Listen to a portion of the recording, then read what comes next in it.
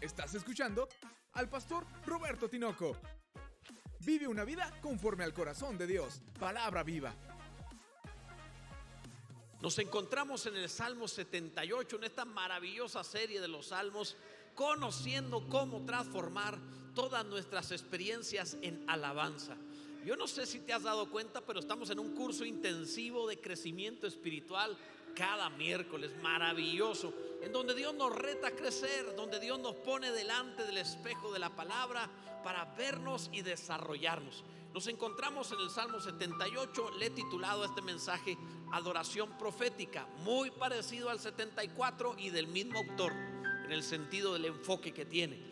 Es Asaf el autor. Así que te invito para que veamos hoy Adoración Profética, Salmo 78 Leeremos los versículos 2 al 4 para comenzar en voz alta como debe leerse la palabra. Dice así, abriré mi boca en proverbios, hablaré cosas escondidas desde tiempos antiguos, las cuales hemos oído y entendido, que nuestros padres nos las contaron. No las encubriremos a los, hijos, cantando a la generación venidera las alabanzas de Yahvé y su potencia y las maravillas que hizo. Bendito sea el nombre del Señor. Todo mensajero debe ser fiel al mensaje que lleva.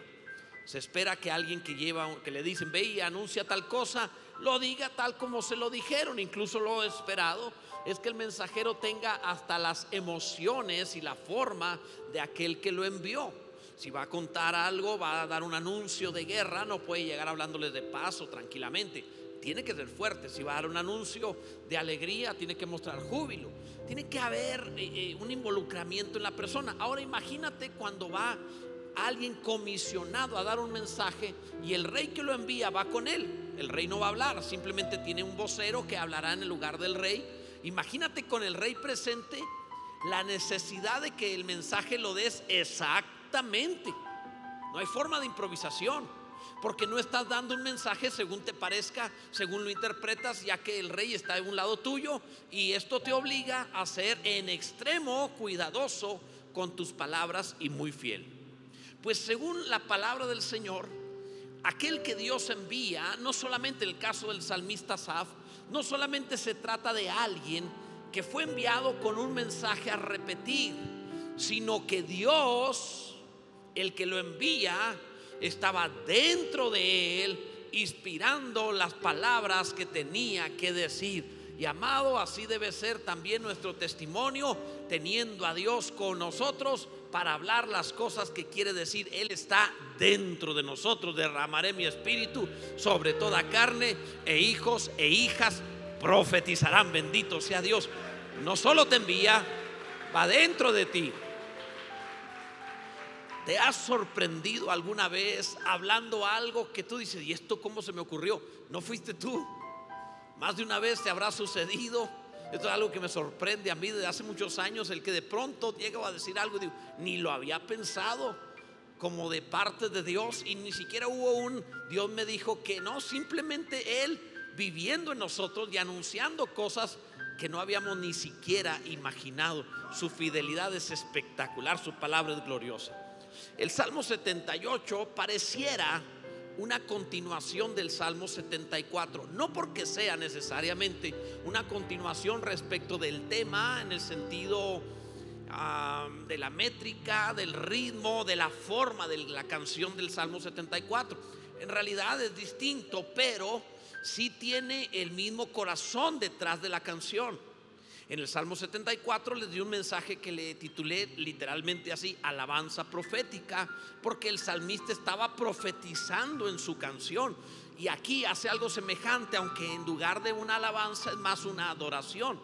Por eso en realidad es una adoración profética, que es lo que tenemos que ver hoy. Encontramos a Dios hablando a través del salmista y enseñándonos a nosotros a que verdaderamente valoremos nuestra boca para que Dios hable a través de ella, sea que hablemos o cantemos, el Señor hable por medio de nosotros y decimos, amén, bendito sea Dios. De eso quiero hablarte. Esta es la fuente de inspiración de las escrituras, pero también está dentro de nosotros para guiarnos en nuestro hablar. Veremos seis puntos. Número uno, la boca del Señor en un adorador. Primero eso, la boca de Dios en un adorador. Jesús tomó las palabras de este salmo, las palabras de Asaf, y dijo que eran suyas. Dijo que él estaba hablando en proverbios como él mismo lo había anunciado, es decir, no era Asaf, era Cristo en Asaf. Esto es algo tremendo, incluso el, el evangelista Mateo cita estas palabras diciendo así, para que se cumpliese lo dicho por el profeta, o sea, Asaf cuando dijo, abriré en parábolas mi boca, declararé cosas escondidas desde la creación del mundo. Y dijo esto Mateo cuando Jesús estaba hablando en parábolas y proverbios. Entonces dijo, así lo anunció el profeta Asaf en esta canción. Pero Jesús mismo dijo, yo le dije que hablaría en proverbios. Entonces cuando Asaf, mil años antes, en tiempo de David, compuso el Salmo 78, parecía que Asaf estaba cantando pero era Cristo en Asaf cantando y anunciando lo que hablaría mil años más adelante. Alguno debe decir, amén, gracias Dios. Déjame te lo explico de una manera simple. ¿Alguna vez has sido motivado, por ejemplo? Es una comparación que obviamente es incomparable, es solo una ilustración. Ah, ¿Alguna vez has sido motivado a hablar por alguna emoción intensa? Digamos, dolor, en un momento de desgracia podrías abrir tu boca y hablar cosas no muy agradables, de queja, de dolor, o, más claro todavía, alguno ha abierto su boca en la ira. Y luego dices cosas que dices, ¿por qué mencioné eso? ¿Por qué lo dije? Porque te fuiste motivado por algo más allá de lo que dirías en una condición normal, común. Lo mismo puede suceder en la alegría o en cualquier circunstancia que tengamos. El salmista Saf no estaba siendo motivado por una emoción específica. Él estaba motivado, dice la Biblia, por el Espíritu de Cristo que estaba en él. Quiero que entiendas eso. Cristo mora en ti. Que Él sea tu boca, que Él sea tus ojos, que Él sea tus oídos. Que cuando tú hables, hable Cristo. Que cuando tú expreses algo, se exprese Cristo. Que sea no tu emoción, no tu pasión, no tu carne, sino la boca del Señor en tu boca. Bendito sea Dios. Alguien debe adorar a Dios con todo el corazón, amados. En segundo lugar, y muy ligado al anterior, el Espíritu de Cristo en un adorador. Fíjate, fue la boca en él por el Espíritu de Cristo en él. Asaf no era él en ese momento. Ah, qué, qué enorme misterio. El hecho de que Dios no solamente quiera acompañarte, sino hablar por medio de tu boca ser medicina, ser sabiduría, ayuda, aliento a otros a través de tu boca.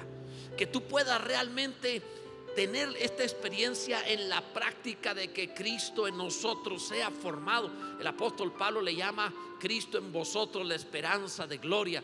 Él en nosotros de tal manera que no solo sea alguien que te acompaña.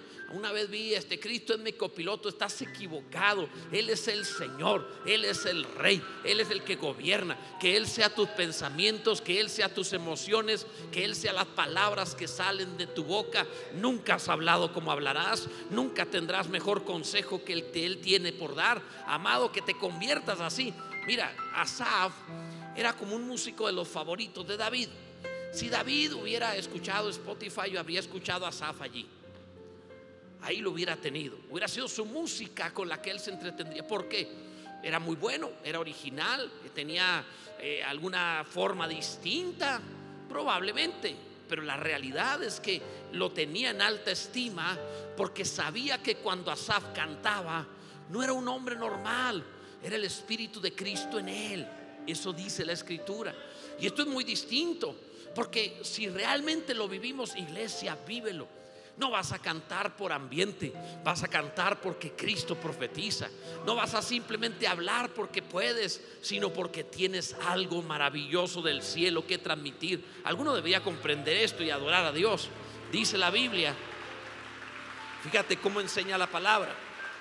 El apóstol Pedro un predicador fuera de serie, Pedro, que en su primer mensaje en Pentecostés se convirtieron tres mil varones sin contar mujeres y niños. Y tú sabes que aquellos tenían una mujer mínimo y aparte no tenían hijos, tenían tribus, así que seguro eran un montón. miles. Y dijo él, los profetas que profetizaron de la gracia destinada a vosotros, a nosotros, inquirieron y diligentemente indagaron acerca de esta salvación, la que tú y yo estamos viviendo.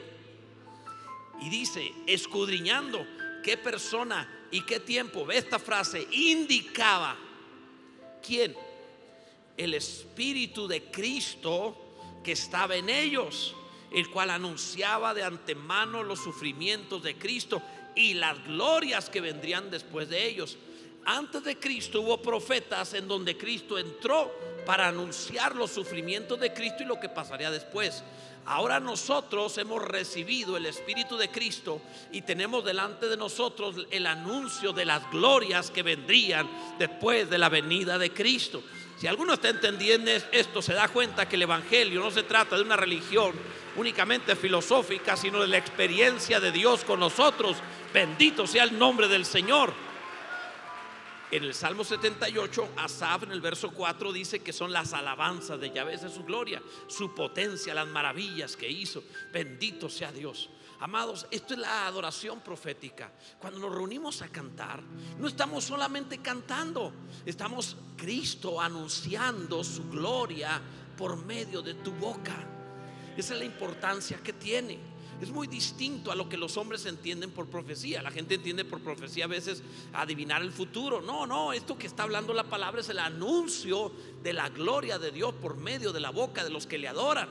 Esto es maravilloso si, alguno le dice a otro lo que debe hacer o no debe hacer, es manipulación más que profecía. Pero cuando alguien anuncia las glorias de Dios, profetiza adorando, y debes saber que el que manipula se parece más a Jezabel que a Asaf, pero el que profetiza de la gloria de Cristo cuando canta, cuando adora, es parecido a Asaf como un adorador. Déjame te lo explico.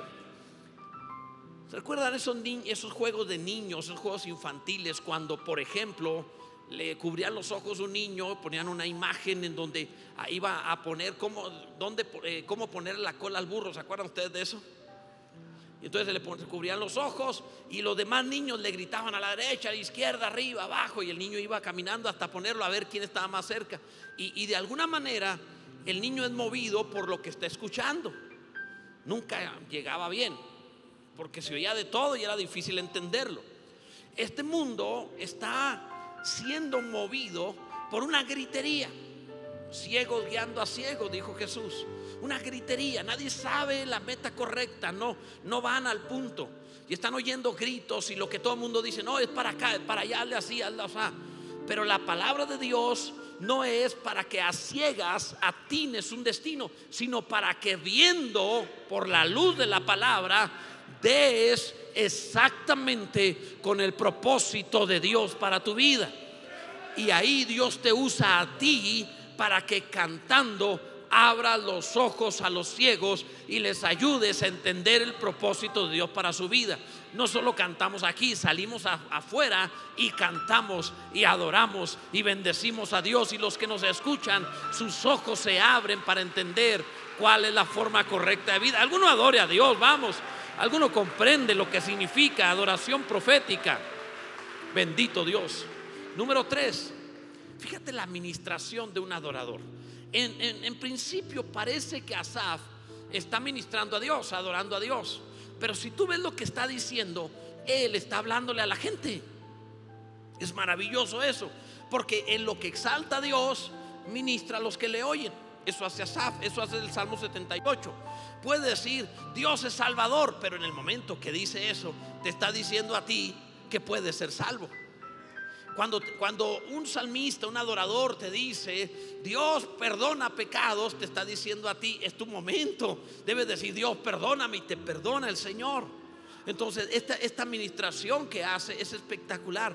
No es un entretenimiento, en otras palabras, Dios viendo por tus ojos oyendo con tus oídos, hablando con tu boca, porque hay otros alrededor que necesitan en tu familia, en tu trabajo, en la vida, necesitan oírte cantar, adorar a Dios, proclamar quién es Él, porque cuando lo hagas, ellos recibirán la bendición de lo que estás cantando. Si alguien comprende, adore a Dios. Ser la boca de Dios, en lugar de estar en la boca de los hombres, amado. Imagina, la Biblia dice que nuestra boca, dice Proverbios que nuestra boca, la boca del justo es medicina. Imagina que realmente nuestra boca fuera como fármacos. ¿Sería medicina en todos o algunos serían tóxicos y otros traerían sobredosis? ¿Cómo sería el hablar? Porque hay personas que cuando lo escuchas te deja una sensación de amargura, de pesadez, una sensación de tristeza. Es más, hay gente que cuando la ves dice, ahí viene, ahí viene. ya sabes que es pesimismo, queja, todo está mal, el diablo está ganando, el mundo no sirve para nada, todos al infierno. Entonces cuando oyes eso dices, ahí viene. No te dan ganas de oír algo así. Pero la, la boca que es medicina es aquella en donde Él habla, escucha. Los profetas antes, por el Espíritu de Cristo, anunciaron los sufrimientos. Pero Él ya sufrió, ya murió, ya resucitó. Ahora por el Espíritu de Cristo anunciamos las glorias. Para que los que escuchen sepan que no hay vida tan hermosa y tan buena como la vida en Cristo. Que Él anuncia gloria a aquel que cree en Él y salvación y vida. Vamos, alguno debe saber que hay medicina en Jesús. Esto es adoración profética que tiene una gran trascendencia, número cuatro. El salmista Asaf habla de la trascendencia de esta clase de adoración. No es entretenimiento, no es sentirte bien. Hay una trascendencia generacional, es lo que habla. Lo dice él así, algo de la siguiente generación. O sea, no es un asunto de que el salmista está buscando un, un sonido nuevo. Él está buscando una nueva generación a la cual transmitirle. Es bien distinto. Cuando los que adoran a Dios están buscando un sonido nuevo, ponen el oído al mundo. Cuando están buscando corazones nuevos, ponen oído a Dios. Y es distinto, muy distinto. Fíjate lo que dice el versículo 5 de este salmo. Él estableció testimonio en Jacob y puso ley en Israel, la cual mandó a nuestros padres que la notificasen a sus hijos. Fíjate lo que está cantando.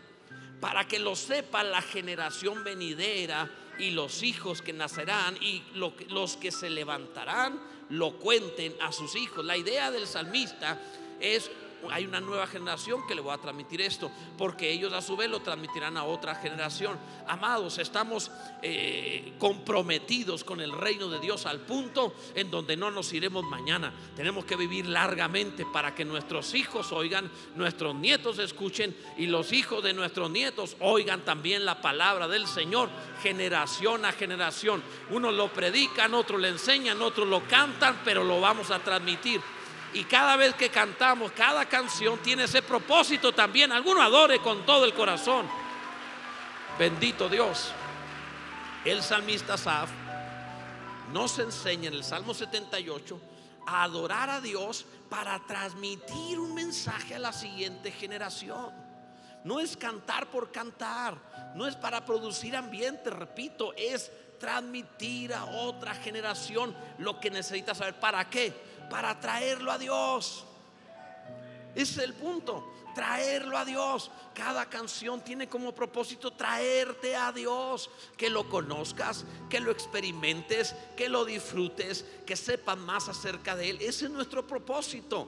Y gracias a Dios por ello, bendito sea Dios, que puedas irlo conociendo. ¿Recuerdan ustedes aquella, aquella fábula?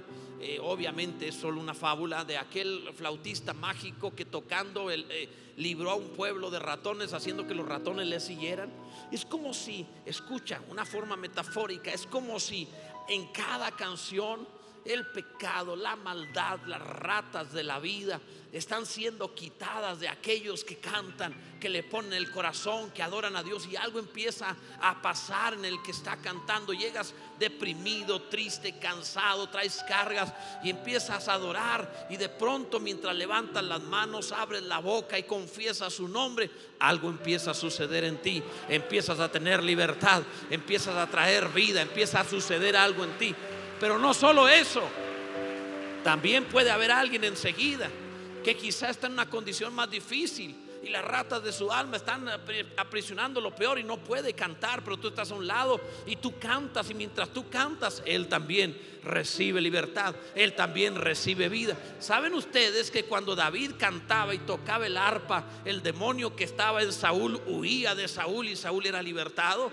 Debes saber que cuando canta la adoración profética trae libertad, trae salvación, trae vida. Así que no cantes despacio, no cantes para ti. En esto te tengo que decir, aunque desafines, canta con toda tu alma, canta con todas tus fuerzas, proclama a Dios porque esto trae libertad. Bendito sea su nombre. Esto es maravilloso, amados. Gloria a Dios. No estoy hablando que es un ministerio evangelístico por medio de la música. No estoy diciendo eso. Todos y cada uno de los que hemos conocido a Cristo, cantemos a Él, adoremos su nombre y que todos sepan que su alabanza también va a traer libertad por su nombre. Bendito sea Dios. Número 5. La fuente de un adorador. ¿De dónde sale todo eso? Cuando es realmente conforme a la palabra. E, este no es un Asaf no es un músico que te lo vas a encontrar en el mundo ahí con los filisteos oyendo a ver qué es lo que traen para traérselo al santuario y cantarle a Dios. No te lo vas a encontrar así. Si quisiera vender más música lo haría. Pero no es eso lo que vas a encontrar. Vas a encontrar a un hombre que pasa el tiempo en el santuario de Dios, cantando y adorando, cantando y adorando. No está tan interesado ni en vender música, ni en que lo escuchen los hombres, está interesado en que Dios lo escuche. Está interesado en tocar el corazón. Tiene una audiencia de uno, Dios. Y cuando alguien tiene en su corazón la audiencia de uno, Dios, muchos otros sabrán cuánta gente crees que ha leído y cantado el Salmo 78. Esto es un bestseller, esto es algo impresionante, amado, tienen que entenderlo. Asaf conoce el secreto de Dios, la intimidad, estar en lo, en lo íntimo, quedarse allí cuando todos se van Tienes un tabernáculo 24 horas abierto, puedes venir a la hora que quieras. Ven y canta, ven y adora. En donde no te oyen, en donde no te aplauden, en donde no hay otros que quieran tu música, en donde no habrá alguien que te diga si cantas bien o cantas mal. Pero pasaste la noche orando, adorando, proclamando a Dios. ¿Qué sabes tú? Que cuando Dios te oiga, mira, cuando el hombre escucha, te dirá si tienes talento, no te aplaudirá o no, pero cuando Dios te escucha, te exaltará, te levantará, hará de ti lo que no soñaste jamás. Quizá estás a distancia de una canción para tu sanidad. Quizá estás a la distancia de una canción para tu milagro. Quizá estás a la distancia de una canción para que cambie tu vida. Atrévete, amado, en el nombre de Jesús. Bendito sea su nombre hazlo de esa manera. Esto es maravilloso. Y en sexto lugar, amados, mira lo que habla la palabra, el propósito de un adorador. Esto no es insignificante, hay una razón que ha venido diciendo, te lo leeré una vez más. Abra Dios el corazón, el entendimiento. Mira, dice, abriré mi boca en proverbios. Recuerda, es Jesús hablando en la boca de Asaf. Hablaré, abriré mi boca en proverbios, hablaré cosas escondidas desde tiempos antiguos, las cuales hemos oído y entendido, que nuestros padres nos las contaron. No las encubriremos a sus hijos, contando a la generación venidera las alabanzas de Yahvé y su potencia y las maravillas que hizo. Hay varias cosas en la meta de la adoración profética. Número uno, transmitir la palabra de Dios transmitir las escrituras, lo que Dios ha hecho, la palabra de Dios, cantar la palabra. Cuán hermoso es eso. Tú puedes ver en la historia de la humanidad que la iglesia a lo largo de los siglos, en sus momentos más buenos y malos, ha transmitido la palabra de Dios cantando. Estamos enriquecidos mediante la palabra de Dios cantada. Hay una cantidad enorme. Comparen la religión que quieran, nadie compone tanta música como la iglesia cristiana. Y no estoy hablando solo de la que se compone para ponerse en un CD o en una grabación y transmitirse. Estoy hablando de la música que realmente está siendo cantada por hombres y mujeres en sus casas, en sus trabajos, cuando van en el automóvil, en todas partes, abriendo la boca, cantando incluso cántico nuevo, simplemente en agradecimiento por lo que Dios ha hecho. ¿Qué sabes tú si en ese momento no es tu ingenio? Sino Cristo, el Espíritu de Cristo hablando por tu boca. ¿Qué sabes tú si en ese momento estás profetizando tu milagro, profetizando la transformación de tu vida, haciendo el cambio de tu hogar? ¿Qué sabes tú lo que está pasando en ese momento? No te detengas, no te pongas a ver qué tan afinado estás en ese momento. Canta y adora a Dios, porque el Espíritu de Cristo que estuvo en Asaf está en ti para hacer y proclamar algo maravilloso. De verdad, amado, adora, dale unos segundos de adoración, de alabanza, de gratitud. Bendito sea Dios. Lo primero es eso. Contar la palabra de Dios, contar la experiencia de la iglesia. Esa es otra. Los salmos están llenos de experiencias. Cantan lo que les sucedió. Cantan sus ruinas, sus momentos buenos, cuando tenían hambre, cuando huían, cuando las cosas estaban bien, en una coronación. Cantan todo. Incluso en sus peores momentos de pecado lo cantan también. Hagamos lo mismo, amados. No estamos estudiando los salmos para poder recitar de memoria Salmo 23 y 91. Que qué bueno que lo hagas. Estamos estudiando los salmos para transmitir o transformar nuestras experiencias en alabanzas. Así que canta, en lugar de llenar tu boca de queja en un momento difícil, canta una alabanza y di, Señor, puedo adorar en medio del dolor, en una quimioterapia puedo cantar alabanzas. Cuando tuviste que firmar a lo mejor una separación, un divorcio y tu corazón está roto, podría llenarte de amargura o llenar tu boca de alabanza y decir, no estoy solo, la presencia de Dios está conmigo y puedo adorar al Señor. Aún ahí, amado, cuando te encuentras a lo mejor en una graduación de tu hijo, en un momento muy bueno, en una boda, en algo que trae alegría, ahí tú puedes también cantar y decir, su gloria ha estado conmigo, su victoria ha estado conmigo y cantar. Eso te enseñan los salmos. Los salmos no son una, eh, un himnario pasivo para oírlo, verlo y, y que nos sirva de liturgia. Los salmos son las experiencias de los hombres y mujeres de Dios que nos dicen, transfórmate en un salmista. Qué bueno los que tienen ministerio. Qué bueno los que, o mejor dicho, talento para musical. Qué bueno los que tienen la habilidad de cantar, de tocar instrumentos. Dios los bendiga. Es maravilloso me da envidia santa y a veces no tan santa, pero qué bueno que puedan hacer eso. Es glorioso, amados. Pero aún si no tengo esa virtud, si tengo adoración. Aún si no es preponderante en mis manos eso, de todas maneras sí puedo engrandecer a Dios como el mejor de los salmistas y transformar lo que estoy viviendo en una canción para Dios. Si alguien comprende esto hoy, adore a Dios, amado, y transmítelo. Entonces, lo primero Transmitir la palabra. Transmitir la palabra es el propósito. Segundo, transmitir tus experiencias. Y tercero, pasar esta revelación a la siguiente generación. Eso dice el salmista. Que te oigan tus hijos cantar. Que en lugar de oír que tienen pleito en matrimonio, que te oigan cantar alabanzas. O que en lugar de que escuchen que no tienes para pagar la letra del auto o de la casa, que te oigan cantar en la confianza de Dios que en lugar de escucharte en el tránsito, en el tráfico, que te quejas contra alguien que se atravesó, que te oigan cantar al Señor. Que en toda experiencia, amado, que la siguiente generación diga que hacía tu, tu papá o tu mamá cuando las cosas estaban difíciles, cantaban a Dios. Y cuando las cosas se pusieron terribles, cantaron a Dios. Que puedan decir, cuando cerró los ojos en el hospital, estaba cantando a Dios. Bendito sea el nombre del Señor. Alguien debe adorar. Esto es fundamental, amados. Mira, debo ir concluyendo, pero ¿han visto que en el colegio, en la escuela, cuando están en preescolar, les enseñan ciertas canciones, sobre todo para que sean didácticas y mover a los niños y, encontrar cierta, no sé cómo es la palabra correcta en cuanto al movimiento de su cuerpo y el ritmo que tienen que tener, que no hay, salvo en las niñas. Dios bendiga a las niñas porque los, pones y las niñas tienen ritmo y les sale bien. Y ves a los niños y de veras, mira, lo pones de planta y le sale mal. O sea, es el de qué saliste en la obra de teatro de árbol y le salió mal. O sea, es, increíble. El niño, así que unos carentes de gracia los varones. O sea, yo sé, aquí hay algunos que dicen, yo sí tengo ritmo.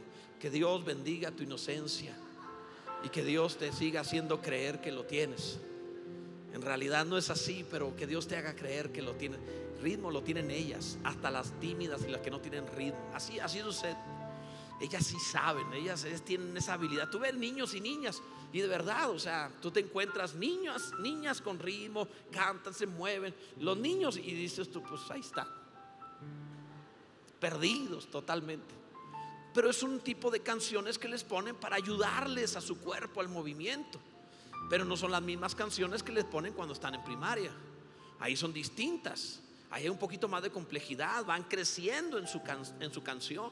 Y, en la vida irán cantando distinto, amado. ¿Por qué te digo esto? Porque esta ilustración te sirva para que también tu cantar vaya mejorando, vaya cambiando de lo que cantabas en el mundo a lo que cantas en Cristo de lo que cantaste sin madurez espiritual a lo que cantas en el Señor.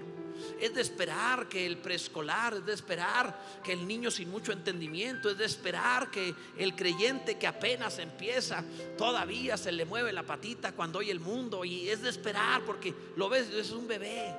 Pero conforme va aprendiendo, te lo vas a encontrar profetizando con canciones, cantando, improvisando, adorando a Dios.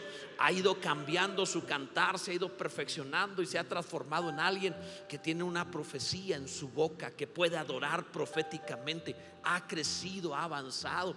Porque qué terrible es encontrar a un hombre adulto hacer lo mismo que hacía cuando estaba en preescolar.